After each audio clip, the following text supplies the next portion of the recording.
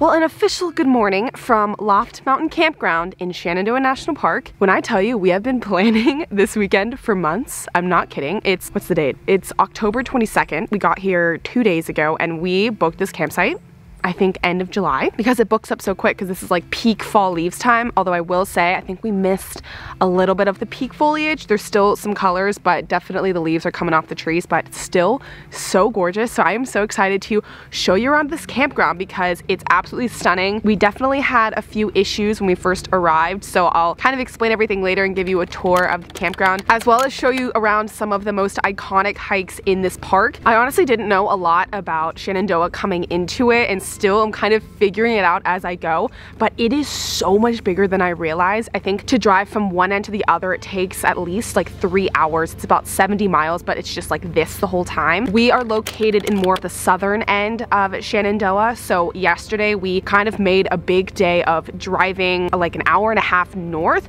to hit two of the most famous peaks in the park. Okay, we got up early at like 6.15 to go see the sunrise. There ended up being so much that we had to do this morning and like it was freezing. The propane ran out last night so it was like 50 degrees in the trailer and I obviously had to make coffee. But it is 7.31 and the sunrise is at 7.29 so we can literally see it through the trees and we're racing to get to a viewpoint so we can appreciate its glory because it's racing at the speed limit. And I'm so excited. Oh, there's so many deer. Hi guys. They're literally everywhere. Everywhere. We already passed four and we've been in the car for like a minute. Another deer. Oh my god. Come on, Mel. Oh my gosh. I'm so happy. Hello. What do you think? Pretty.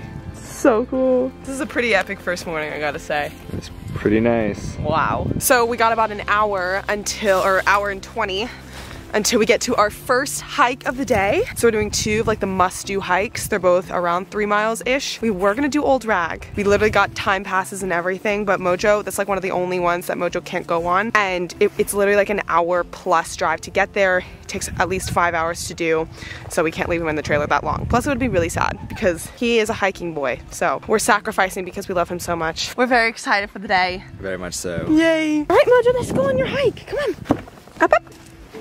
Good boy. We made it to our first trailhead just around 9 a.m. to hike to Mary's Rock Summit. We actually took the north end of the Appalachian Trail to get there and the AT runs kind of all throughout this park. We've seen a lot of through hikers staying at this campsite actually, but the AT hikes here are stunning. So we wanted to make sure we did that. And there are several different routes to get to Mary's Rock Summit, but we chose to take the AT. And it just gives you this gorgeous panoramic view of Shenandoah Valley and all of the leaves and it's just absolutely gorgeous. It's a fairly, you know, moderate hike. Um, I didn't find it too difficult, but it's about a 1,300 feet of elevation gain, about 3.4 miles total and it's super dog friendly and that is one thing I'll touch on a little bit later about this park is it's one of the only national parks that is very dog friendly. Obviously you have to keep them on leash but most of the trails here allow dogs which is why we were really excited to come and bring Mojo. And then right after we finished Mary's Rock Summit we drove about 25 minutes south to Hawksbill Loop trailhead and this is by far one of the most famous trails in the park. It's on like every must-do list so we wanted to check it off for sure and while we were in that area. And this was also a really really gorgeous, just giant viewpoint and it actually leads you to the highest point in Shenandoah National Park. It's about 3,600 feet at the very top. But we were pretty exhausted after yesterday, I'm not gonna lie. So we kind of came back and just hung out at camp, made some dinner outside, hung out by the fire for a while, and we kind of slept in a little bit. Well, slept in. 8 a.m. for us is kind of sleeping in. We've just been kind of chilling at camp this morning. We made a really yummy breakfast and actually if you would have watched my last video you would have seen we were at Mezzaluna Farm in Maryland and they had a chicken coop there and the host Keith actually brought us a full dozen eggs from their chicken coop. So we made some really yummy eggs this morning. It's about 1040 now, so we are going to head out on a couple more hikes today, a lot easier and a lot closer to our campsite. So if you're planning on coming to stay at Loft Mountain Campground, these two trails are ones that are really easy to get to and they're not hard at all according to the reviews that I've read. So let's go do that and I'll show you around all of those trails as well as show you the gorgeous Skyline Drive. I think it's 105 miles total. There is literally viewpoints like every half a mile. So if you come here and maybe you don't feel like doing a ton of hiking, you can still get some epic views just by driving along the Skyline Drive. It's absolutely gorgeous. So yeah, let's go do some adventures and then we'll come back and I'll give you a little tour of our campground and the campsite where we're staying at. And there's a giant spider crawling on my tripod. I love that for me. It's actually pretty warm today, so Mojo doesn't need a sweater, I don't think. Nope. Yesterday was freezing cold. I'm scared. It's okay, we're good. Mojo, come on. Go get him. All right. Let's do this.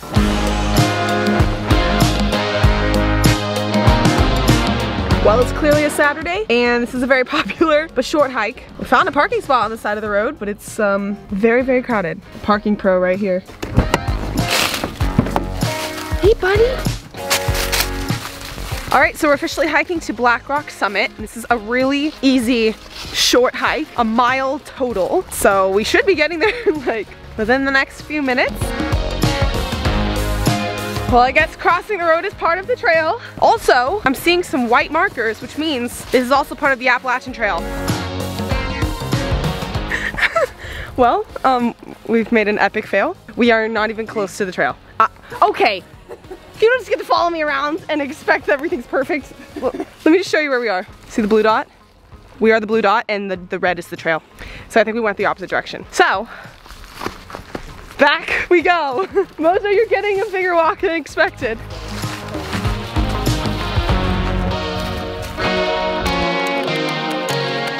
We have made it to Blackrock Summit. This is actually insane. It's like a giant hill of all of these massive rocks. I would say this might be the best view of the three that we've seen so far. It's like 300 degrees Yeah. for the view. It's pretty cool. Yeah, this is pretty epic and it's really an easy hike. So don't do what we did and we took a right instead of a left, but otherwise it's great. It's literally like 0.5 miles to get here. Love it. We're off to the next one now, seven minutes away from Frazier Discovery Trail. We're gonna make a pit stop at the gift shop for stickers and a bathroom break. You didn't have to tell them that part. Well, We're that's- keeping it real in here. Okay, so now we're at the actual camping store at the campground, and there's tons of camping supplies here. Got like lights, water, fire sticks, Stove. yeah, propane, The mat. yeah, they have all this stuff. And then there's like essentials, like food essentials as well. Easy camping meals. Sardines. Bring us back to Lisbon. Ew, it's kind of gross. Okay, this is a must. We're, we're doing it. If you know us, this is this is the goods. What? Oh, you want that? Okay, well I want this. Yes, tall boy. This is the best thing ever. Okay, keeping it real with you guys, we've decided to uh, skip out on the next hike and go back to camp, take advantage of these tall boys and hang out by the fire. This is like our first like actual vacation in so long. We actually took Thursday and Friday off, which was great. So we're embracing the vacation vibes. And since the trail, Frazier Discovery Trail is literally right down the road from our campsite, we're gonna go do that tomorrow morning. Somebody a little bit tired. Yep, he's down for the count. Okay, we got chips and salsa. I'm gonna go get my beer out of the car and we're gonna make a fire, hang out outside. No. Wait, there's still some in there. That's great. I have a napkin. Oh yeah. Oh no, What? the stink bug went away. I'll find it. It was on the inside. Oh, oh, oh, he's right there. Get him, get him, get him, get him. Get him. Hold on. Where are you going? Are you getting firewood? Jeez. Oh, this is 9%. What is mine? Ah, are you kidding me? Let me try it. He's gonna get drunker than me, that's not fair. Oh, oh Mojo! Are you ready to come out? Come on! Oh gosh, there is a bee that really, oh my god, it's in my face! The fallen soldier. Right here. This is a good boy. Yeah. So they're pretty strict about dogs being on leashes here, which totally understandable. There is so much wildlife here. Like we've seen at least 15 deer. It's like a family of three that's all over the place, like right here all the time. And there's black bears, so they just don't want dogs and bears and deer getting in a kerfuffle. So gotta keep them on a leash. We've already gotten yelled at once. Mojo is just has separation anxiety, doesn't go anywhere. Right, Mojo.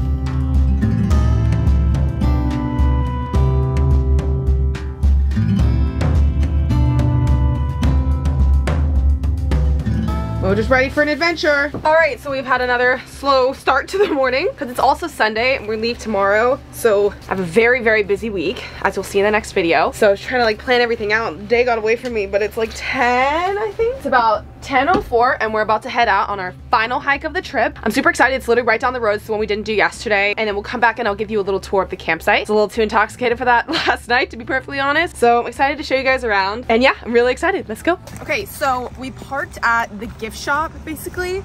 That's like where the parking lot is. And right across the street here is the trail. You can see the sign right there. Trail's right across the street. And then over here is the entrance to the Loft Mountain Campground. So that's how close it is. And it's one of the must-dos. So if you stay at this park or at this campground, then definitely do this hike.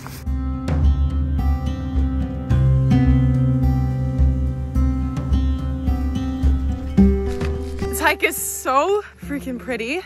And it looks like we're at the top of the tree line right now. So I think we are coming up on Loft Mountain. Very excited. So is Mojo. Are you having a good time?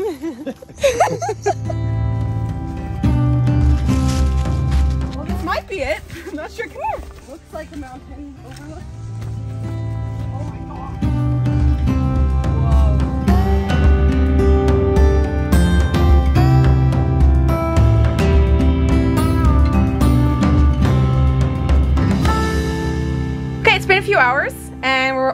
Cleaned up. We actually had enough water to take showers because we're leaving tomorrow, so we've been conserving water the last few days because as you will see, there are no hookups at this campsite, but we still have one third less left of the fresh and we got two thirds full of gray. So we're dumping everything tomorrow morning when we leave, but we also did a big clean, a big deep clean, which is always so satisfying. Obviously we still have some dishes out, but this is all nice and clean. Look how clean up Dylan is. Obviously, Mojo did nothing. Mojo Right, Mojo? Is the ultimate freeloader. She's just here. Also, if you're not subscribed, make sure to subscribe because we're actually planning to film, finally, the ultimate tour of the trailer. As you can see, we did a ton of renovations. This entire desk was not in existence when we first bought the trailer. It was initially a, like another mini couch that folds out into a bed, but we converted it into a desk and then we also like painted everything and just really transformed it. So definitely excited to film that. So make sure you're subscribed so you can see that. But before we go head out, because we're heading to a brewery for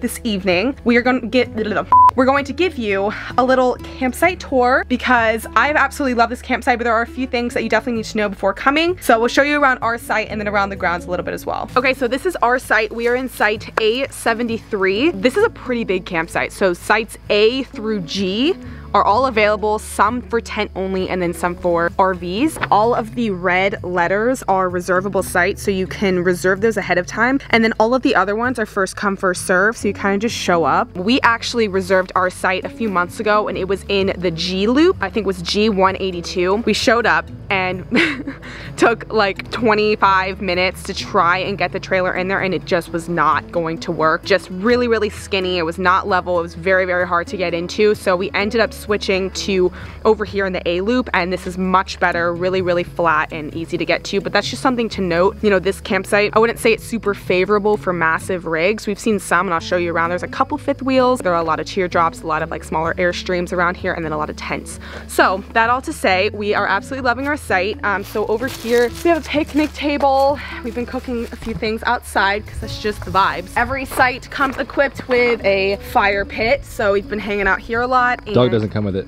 the dog does not come with it, unfortunately. I know you're all sad to hear that. Like I mentioned, there are no hookups, so I don't think there's hookups anywhere. Obviously, you know, come prepared. There is a dump site that we'll show you tomorrow that we're gonna go to. It has potable water to fill up. It also is a dump site. We have been hooked up pretty much solely to Dylan's truck, so I'll let him take it away and show you that a little bit. One thing I will say for internet here, even though we both were on vacation, we still just wanted to watch some Netflix at night, is Starlink is literally a necessity here. It only has like one bar of Verizon here. I haven't really tried out any of the other hotspots that we have, but Starlink has been like impeccable here. Just works every single time. So you can see we have our cable running into the trailer here, but just a quick test here for Starlink. And for basic streaming and any, anything, like this works perfect. You can kind of see I only have one bar of Verizon right here, but even right now, 15 megabytes is more than enough. First thing in the morning, it's like 150, 200, which is like crazy up here. But again, like that's probably like the easiest way to get internet up here. Mm-hmm. And then as for powering the trailer, we do have a generator that can run both on propane and gas,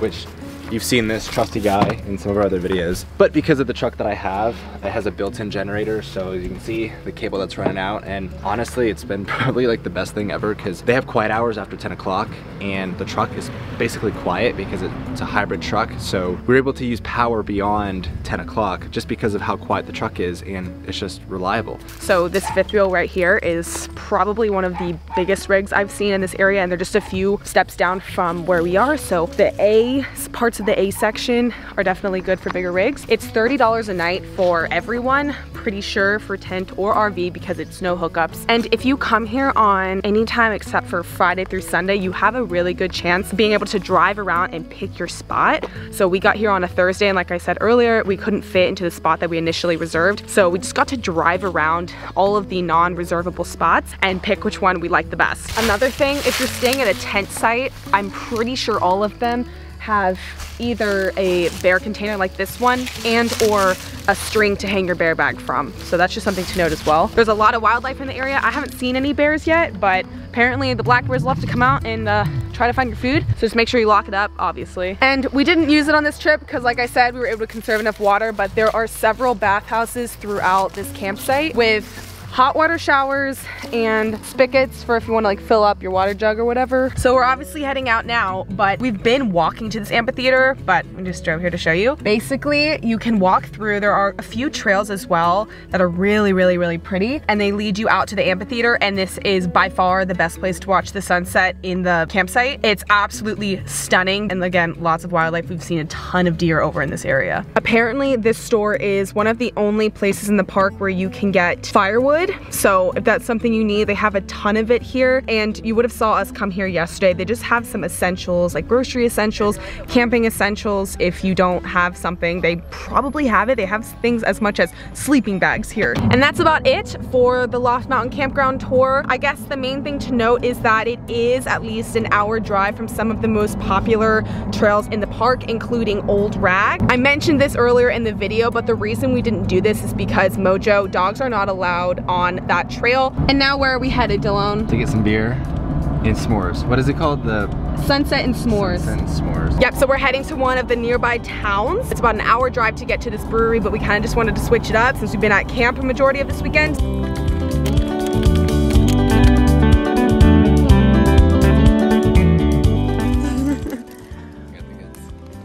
wow. Thank you, sir.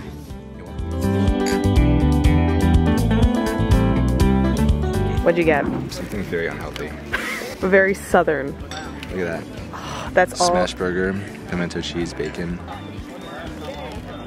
Wow. Mm. I got the vegan barbecue sandwich. We got some mac and cheese, and I had to get a salad because there was no french fries, and I didn't want anything else. And because I'm the best dog mom ever. We couldn't have food without you having food too, Mom.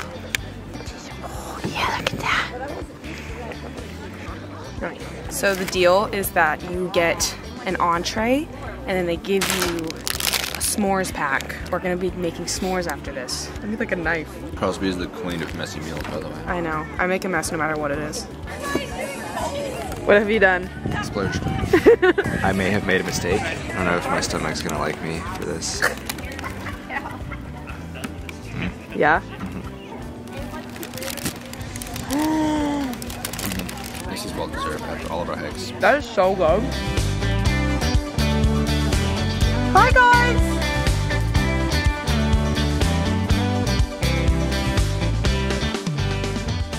Hi guys! this is insane! Alright. It's becoming a joke at this point. It's okay.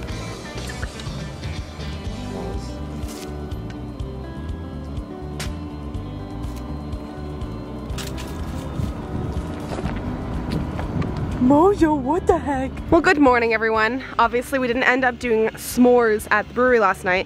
We are gonna bring it back here and do a fire here, but we got back and we're a little exhausted. So we ended up just laying and watching Better Call Saul. Um, but now it's about like 8, 15, 8, 20 right now. And we are making a break for it. Dylan's getting all the stabilizers up currently. It is a Monday. Technically I took off today, but I have so much work to do before this coming weekend because I'm meeting up with a ton of my friends for my birthday. So we are gonna head out of here. Dylan has a call at 10. We have loved it here, so I'm kind of sad to be leaving, but I'm really excited for the next like week, week and a half. Lots is gonna be happening. He's shaking. Ew. Those are my large. Dylan's having way too much fun at the dump right now. Stop looking at it. Okay, so now we are off and we are heading down to North Carolina. We got about a four hour drive in front of us, but I'm going to wrap up this video here. Thank you so, so much for watching this video. If you enjoyed it, which I hope you did, please give me a thumbs up. It really, really helps me out and make sure to subscribe to join the Rookies on the Road fam and stay tuned for more future adventures. I'll see you in the next one. Bye!